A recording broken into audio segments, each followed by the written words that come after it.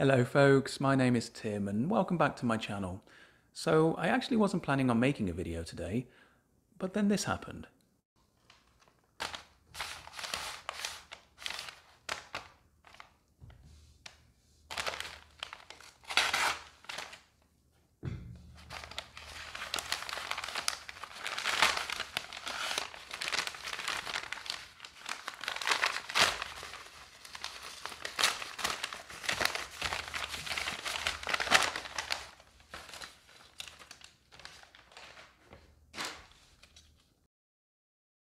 Alright, we have definitely got to find something fun to do with you.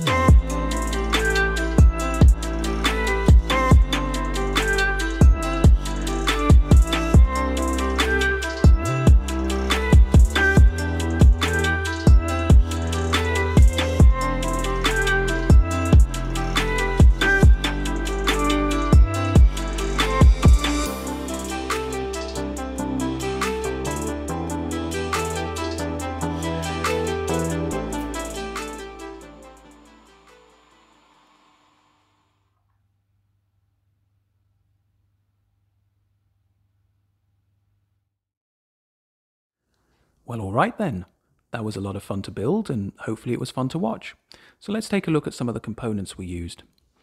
Obviously, we've got this nice big sheet of LEDs. These are WS2812B LEDs. That means they're RGB LEDs and they're individually addressable. Sometimes they're called NeoPixels, they have other names as well, and they're really ubiquitous. There's tons of tutorials on how to use these things. They're really easy to get hold of, and they're a lot of fun to play with. The star of the show, however, is right here on our breadboard. So this is the Raspberry Pi Pico. It is the latest board from the Raspberry Pi Foundation and it is a little microcontroller. It's kind of equivalent to something like an Arduino and it's intended for use in the same sorts of applications. However, it's a very powerful microcontroller and it's also very easy to program. You just hook it up to a USB here and then you can start programming this thing in either MicroPython CircuitPython from Adafruit or in straight C. And there's an SDK that's provided by the Raspberry Pi Foundation for how you do that. Really very easy to use, loads of fun to play with, and I'm really looking forward to putting this thing through its paces and doing some more interesting projects in the future. So underneath the actual Pi, we have this little board here, and this is just a logic level shifter. Uh, the Pi actually outputs uh, 3.3 volts on its GPIO pins, and that is perfectly fine, but it wasn't quite enough to um, drive these NeoPixels reliably.